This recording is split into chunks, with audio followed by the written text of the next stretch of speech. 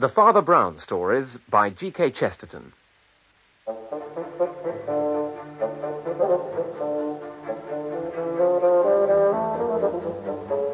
We present The Eye of Apollo, adapted by John Scotney, with Andrew Sachs as Father Brown.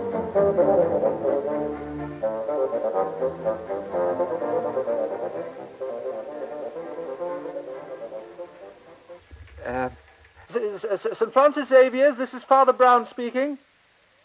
Oh, oh, oh, uh, yes, uh, yes, yes, uh, yes, certainly, Uh, yes, uh, uh, good, uh, goodbye, uh, yes, um, goodbye. Um, that was the police sister. Oh, Mother of God. Oh, oh, oh, I'm sorry, Father.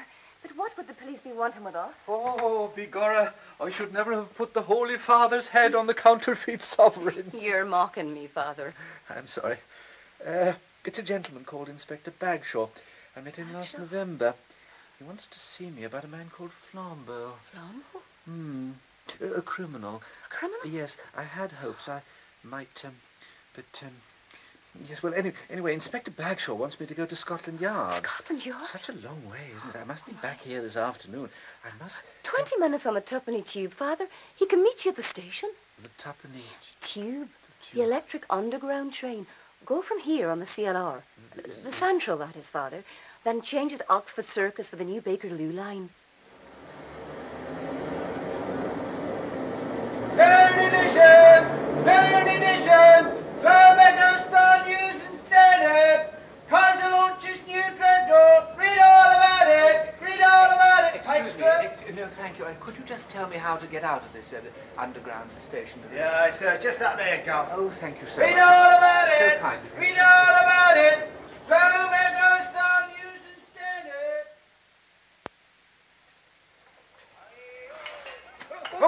What a daisy, Father? Oh, dear, oh, dear. Are you all right now? The Bagshaw. no, I, I couldn't see a thing coming out from there, you know, into this bright sunlight. Oh, I Um, see. Uh, my glasses. I yeah, think right. sometimes I need glasses to look for my glasses. There we are. Oh, thank you. ah, now, tell me about Flambeau. Yes. What new devilry has he been up to? Well, that's the funny thing. He seems to have changed his ways. Opened up a straight business as a private detective. He's got an office in one of these new apartment blocks over here. Private? Yeah. Well, well. Rejoice with me, I've found my sheep that was lost. Oh, yes, yes. He said he reckoned he could make more money out of detective work than out of crime. He wouldn't at Scotland Yard, I can tell you that. Ah, yes, we too know something of poverty. Oh, yes, indeed. Frankly, sir, I'd uh, value your opinion about whether Flambeau is pulling the wool over our eyes. Oh. He, he did particularly ask to see you, and his office isn't far from here, so if you wouldn't mind... this is it. They haven't even finished working on it yet. The big tall one with, with the sign. You, you can see it, can you? Oh, the great gold eye. Yes, yes, even I can see that. Monsieur Flambeau now seems to be taking as much trouble to advertise himself as he once took to conceal himself. Oh, no, no, no, no, that's not Flambeau's office. He's got the office underneath. That's one of the new religions. Fellow calling himself Kalon. It can't be his real name. Calls himself the new priest of uh, Aten or something. But Aten, the Egyptian sun god. Ah, you couldn't see it. It sounded fishy to us. I'm willing to bet it's something to do with old Flambeau, but we can't prove any connection. Oh, he must look out, this Kalon. The sun gods were always the cruelest. Oh, yeah. What does that monstrous eye mean? Well, as I understand it, Father, according to our report, they've, they've got this theory. A man can endure anything if he thinks the right way. They're two big symbols of the sun and the open eye. They reckon if a man is really healthy, he can stare at the sun. Oh, a really healthy man wouldn't want to. Mhm, I'm with you there, sir. Anyway, I'll wait for you in the pub over there. Uh, we can yes. uh, we can compare notes afterwards. Oh, eh? yes, right, yes, fine. Mind the revolving door. Uh, oh, yes. Right, right. Oh. That's better. Yes. Ah, you okay, Reverend? Oh, yes, sir, thank you so yeah. much. One small thing, sir. Yes. Uh, I'm the supervising engineer for the elevator construction. I, I beg your pardon. Oh, sorry. Um, I build the lift. Oh. I wanted to warn you, is something wrong with them? sir. In our opinion, the quietest super silent elevator system is the best in the world. The quietest system is 53% quieter than any other. Really? Yes, sir. Is it uh, electric? Oh, yes, sir. Oh, yes, I thought so. Yes. Anyway, although the elevators are working, I must ask you to wait for the attendant. Of course. You see, the safety catch on the outer doors isn't yet working to maximum efficiency. Mr. Wilson, no lift boy again, I see. Oh, oh, no, Well, I uh, will be no more dependent on boys than on men. I am quite capable of working the thing myself. And you? Are you going to wait all day, or will you come with me? I, I was told by Oh, Mr. that's all right, Reverend. Miss Stacy can handle the elevators just fine. Fine and dandy. Well then, thank you so much. Most kind of you.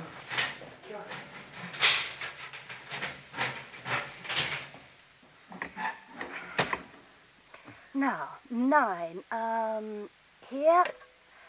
And you? Oh, I, I, I don't know if you'd know. It's Monsieur Flambeau. Ah, the tenth, just above mine. Oh, there are only three floors occupied. Um, ten. And up. Wow. Oh, it certainly is very fast. Hmm.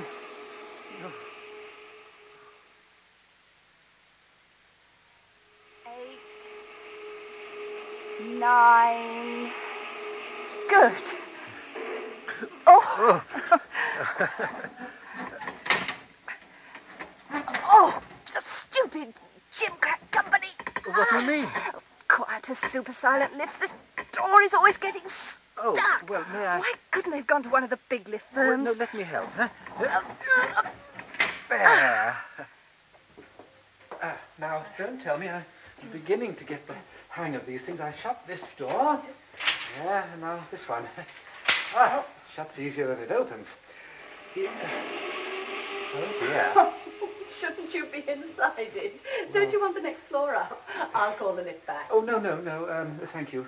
Um, stairs, if there are stairs. I'd rather, um, I'm used to stairs. They're not electrical. Another helpless man. Uh, come and meet my sister Joan. Oh. We have a typewriting agency, just the two of us.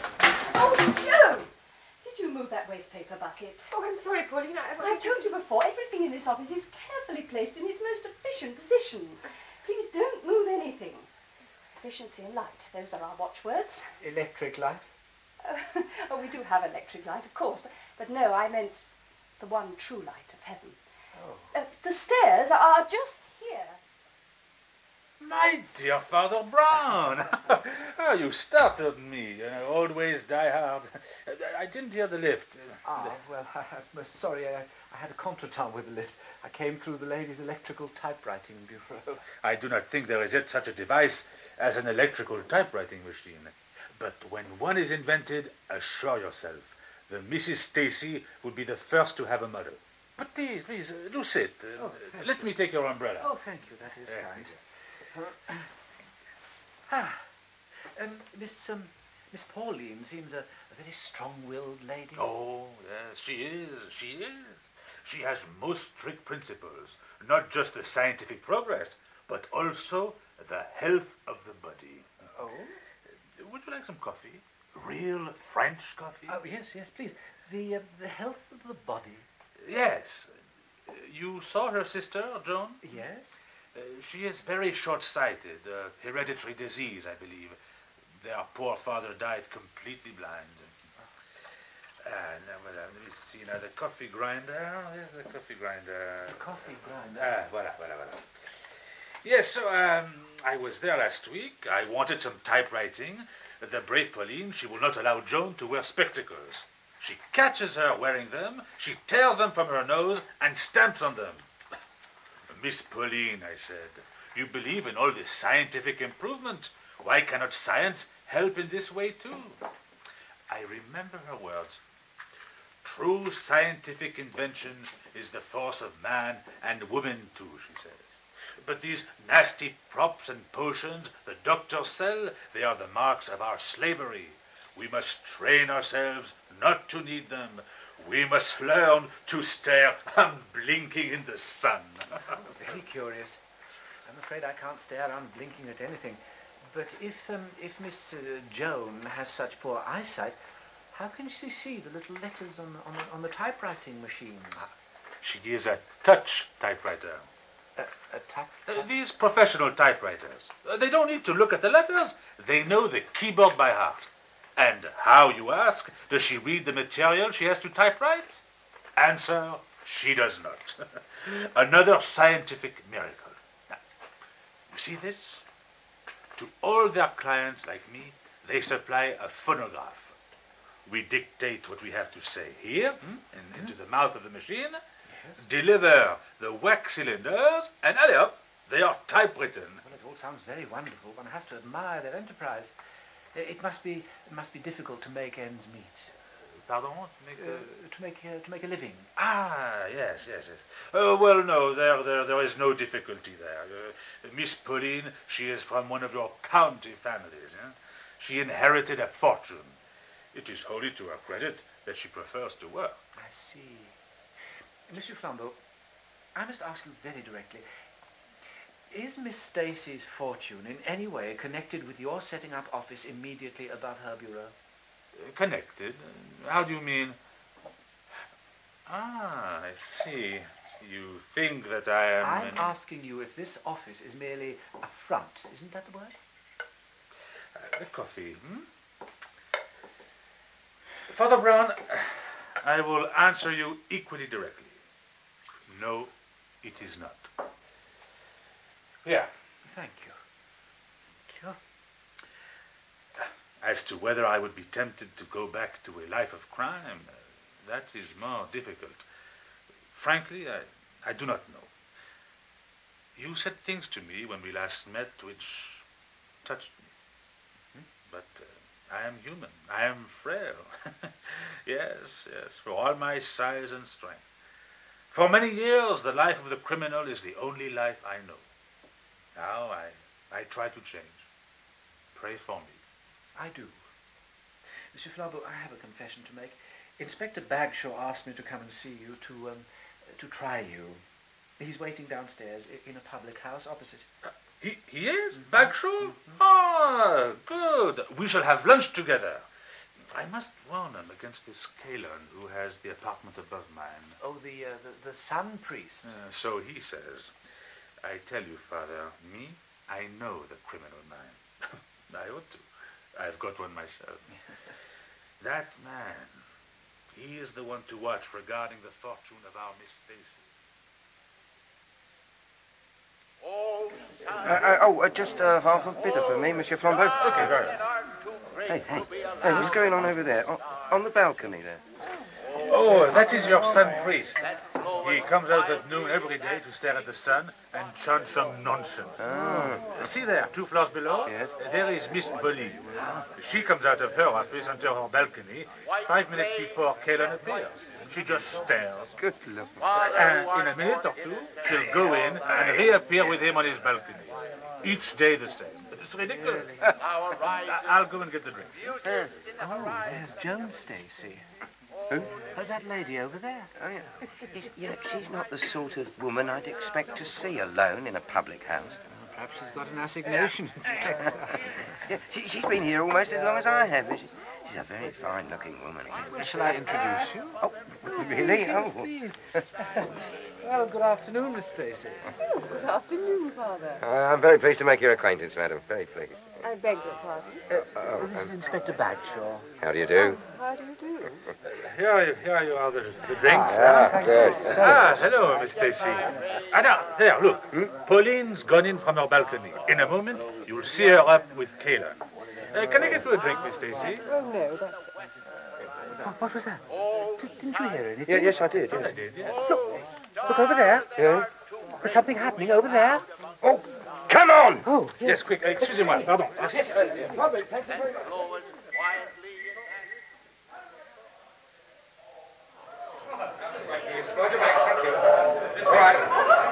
I am a police officer, now then, what happened? I warned you. I told her the lift wasn't safe. Yes, well, never mind that now. Go and get a doctor, though I'm, I'm afraid it's too late.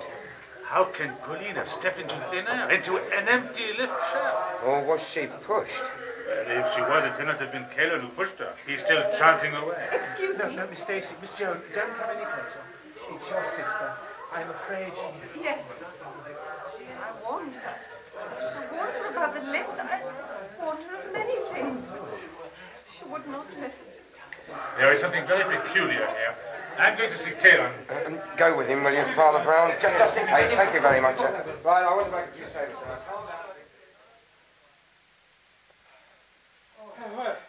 I don't think those stairs are meant for climbing. Oh, well, here we are, the Stacy's office. Aren't you coming up to Kalon's floor? It's another two floors up. No, no, I, I think we may find this floor more interesting. Uh, You notice the open gate to the lift chart? Yes, yes. And, uh, You're right. Look, look here in the Oh. waste paper bucket. Blood. See, blood. blood. What? Oh, no. No. No red ink. And green ink. And blue ink. Incredible. And black ink. Well, that's funny. It wasn't here before. You see, this bin, uh, Miss Pauline, she, she knocked it over. I'm sure, I'm sure I'd have noticed the ink. But Why, though? Listen, there comes the lift. Oh, yes. Kalon. What are you doing here? Ah, Where is Pauline? my dear. Why didn't she come up to join me? Uh, Pauline, uh, Miss Pauline Stacy, is dead. She fell down the empty lift shaft. Dead? Pauline is dead? Sir, désolé. Oh, I must die. Of course, of course, here. Those oh, damn, damn lifts. Oh, that woman, that woman who is dead was my love and my bride. Comment ça? She, she was your wife? No, no, not after the manner of your tin chapels, what the world calls lawful matrimony, but after a purer, sterner law, higher than anything you can understand. Allow me to try. Would you learn from me? Perhaps I might learn something. You see, we're taught that principles and motives are what we should judge a man on. If, uh, say, a man has bad principles, it is, uh, well, it is his fault if he commits a crime. You would convict men of crime. I would convict them of innocence. You would convince them of sin. I would convince them of virtue. All your church is but a black police. a black police. I ask you. The man is a charlatan. What about the police? Oh, them stairs. Oh, don't talk to me about the police. Now I know what they mean when they say when you want one, you can't find one. Blow my whistle for five minutes I was before any of the uniform branch turned up. Oh, um, this is the uh, deceased sister, Miss Jones Stacy. Uh, yes. Oh, oh, of course you both know that. um, you must be Kalon. Right, I've, I've got my breath back. We might as well get started. I don't mind telling you, I can't put my finger on it, but something stinks here. It looks like an accident, could even be suicide, but I smell murder. Now, Mr. Kalon, what were you doing just before the, uh, well, before Miss Stacy fell? Going into Stacy's office with a document for Pauline to sign. Then I went upstairs to commence my prayer. Upstairs? Just for the record, what was the document you were taking to be signed? It was Miss Pauline Stacy's will. She'd asked me to check it before she signed. Pauline did love me.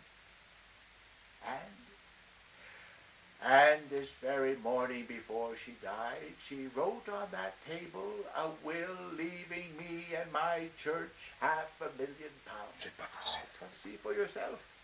The will is on the table over there. I give and bequeath to church of...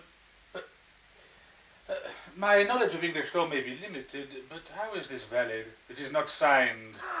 Not signed? What? What monkey tricks you been up to, Joan? How dare you? See here, gentlemen. Here's your death explained. The poor girl is writing her will in my favor. Her cursed sister here comes in, struggles for the pen, drags her to the shaft, and throws her down before she can finish. That's. Mr. Kalon, Miss Stacy here has the same alibi as the other chief suspect. I myself was only a few yards from her when the murder occurred. Uh, and uh, who is the other chief suspect? You are, Flambeau. And I, Well, yes, you, you do have a motive. when I am called to dock, many hundred people will go into the witness box and testify that I was standing on my balcony, two floors above Pauline's office when she fell to her death. Could I be in two places at once? I, oh, well, I, I don't know. Um, Father Brown. So the little inquisitor defers to the grand inquisitor. But I still say I am without sin. Oh, is anyone without sin? There have, I feel, been sins committed here, sins of omission and sins of commission. But I doubt whether they could lead to a conviction in a court of law. I confess I am defeated. Defeated? You are defeated? Yes, I feel I am. Then let me tell you what I think happened. Oh, yes, please do. I'd be... I solemnly believe that in some ecstasy of noble thought, Pauline attempted a miracle. Yes? It is well known to students of the higher truths that certain adepts and illuminati have attained the power of levitation, of being able to float in empty air. Perhaps Pauline believed she had achieved such a level. Perhaps in her eyes. In her eyes. In her eyes, yes, that's it. But I see you do not understand. Oh, but I think I do. What do you mean, Father? Monsieur Flambeau, you told me that you could understand how a criminal behaves because you yourself were a criminal. I am very short-sighted. I know how short-sighted people behave. Miss Joan is very short-sighted. Her father died blind. The disease is hereditary. Miss Pauline also inherited it, though she refused to admit it. Are two things I recognized. In the lift, she could not read the numbers on the floor indicator. She had to count the floors as we passed. And she did not see the waste paper bin she knocked over. I'm, I'm always doing things like that. Without my spectacles, I'm blind. But Miss Pauline refused to wear spectacles. She made her eyes worse by straining them and staring into the sun. Coming in from the sun, she could not see. There was no lift in the shaft. So, so it, it was an accident after all. But tell me, Kalon, why, when we saw you take a lift to descend two floors from your office to Miss Stacy's, why did you choose, as you told us, to walk up the same two floors? Why didn't you take the lift? What do you mean? Huh? What are you getting at? Might I suggest, you're a strong man, Mr. Kalon. The lift gate on Pauline's floor was faulty. I myself saw she could not open it unaided. And no doubt in a generous spirit you were in the habit of leaving the gate open with the lift in position so that she could enter it and ascend to join you on your balcony? Yeah? What if I was? Well, now, now suppose, uh, I'm only supposing, of course, uh, suppose today, shall we say, believing that Miss Pauline Stacy had signed a will in your favour, you were tempted. Tempted? The word means nothing. Uh, v- very well. You chose, when you had walked up the two floors to your office, you chose to press the little electric button to summon the lift to your floor. Would that not mean that at Pauline Stacy's floor the door would remain open? And that instead of finding the lift she expected and assuming, as I suggested, uh, that she could not see, she would step confidently into the empty shaft because you had called the lift to your own floor? That's it. There. I have him, Inspector. Well, Hey, let right, me go, right, Dale. please, right, please. right, Flambeau. No, no, Mr. Kalon, No, no. I charge No, you no, with no, a no, willful no, no, murder. no, no, I was only conjecturing. I'm, I'm sure there can be no charge against this man. In law, as he said, there were hundreds of witnesses to the fact he was praying to his God when Pauline died. No, let him go, Monsieur Flambeau, please, please. Who are you, you cursed black spy, to weave a spider's web round me? I... I will leave now, and none of you can stop me! No, no, no. No, no, I- no, Monsieur Flambeau, let him pass. Yes, let Cain pass, for he belongs to God. Inspector? Oh, uh, Miss Joan, I, I, I do apologise. I'm afraid in all the excitement I'd rather forgotten about you. Am I free to go too? This has uh, all been something of a, a shock. Oh, well, well, well, of course, Miss Stacy. Uh, Miss Joan, if, if, if there's anything I, I can do... Uh, no, uh, thank you, Inspector. Oh. Father Brown, Monsieur Flambeau. Mademoiselle. So, I am the only suspect remaining, Inspector. Oh, I, I didn't really suspect you, Flambeau. Nor Miss Joan.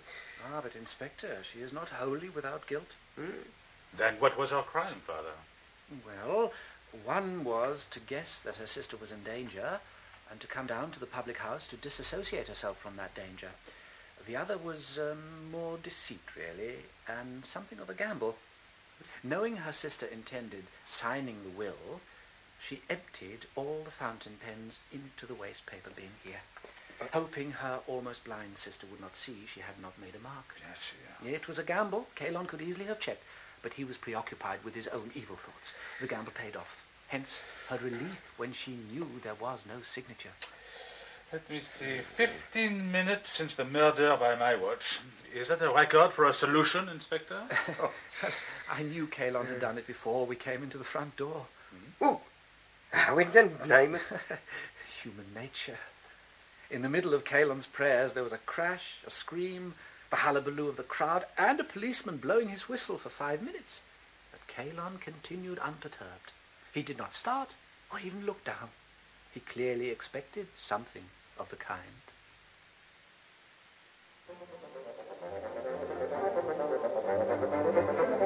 In The Eye of Apollo by G.K. Chesterton, the part of Father Brown was played by Andrew Sachs. Flambeau, Olivier Pierre. Bagshaw, Bill Wallace. Kalon, Bruce Bower. Pauline Stacey, Nerissa Knights. Joan Stacey, Lisa Flanagan. Wilson, Garrick Hagan. Sister, Melinda Walker. News vendor, Robin Summers. The Eye of Apollo was adapted by John Scotney and directed in Bristol by Alec Reed.